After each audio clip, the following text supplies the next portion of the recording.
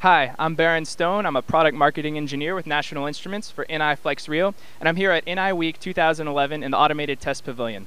I'd like to show you this demonstration we have for NI FlexRIO, where we're testing multiple devices in parallel and using real-time inline processing on the FPGA to increase our test throughput.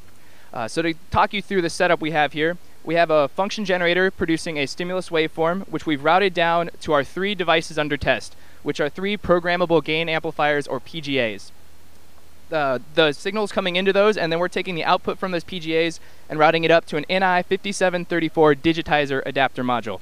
Uh, we're also routing back a feedback from that stimulus signal as well. So we have four channels on the NI5734 digitizer adapter module, which are being sampled at 120 megasamples per second with 16 bits of resolution. And in short, what that means is we have 960 megabytes per second of data being produced by this uh, adapter module, which is more than we would want to stream back to the host uh, and could do processing on the host for. So that's where the FPGA comes in. Uh, we're using the NI FlexRIO and LabVIEW FPGA to do inline processing. We're taking the averaging on our records. We're doing the FFT on all of those averaged uh, records, and then we're also doing spectral measurements, including signal to noise ratio, signal to noise and distortion, and spurious free dynamic range. So let me show you here the host VI we have. Uh, all those measurements, again, taking place on the FPGA, and then only the results of those measurements being sent up to the host for display.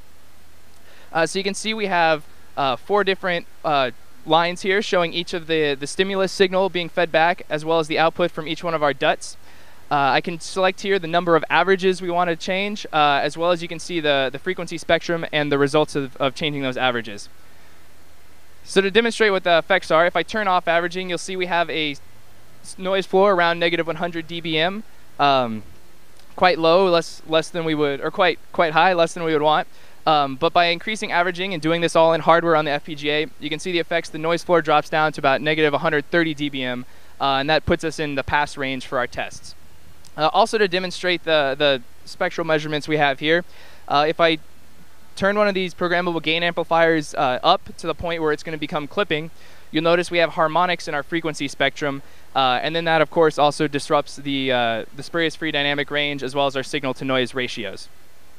So in short, the benefits of using the FPGA here is we're taking in a lot of data.